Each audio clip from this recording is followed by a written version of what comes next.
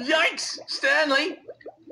Hi, I'm looking for my shark tooth for a school project, and golly, you have lots of teeth. Stanley? Look, Dennis, he's smiling. Maybe he wants to have us over for dinner.